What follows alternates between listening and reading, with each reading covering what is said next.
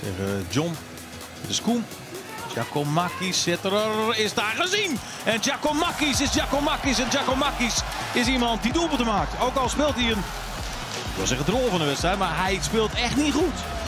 Er lukt niet heel veel. Maar de Sitaki kan worden ingezet. Want Giacomakis maakt weer een goal. 2-2.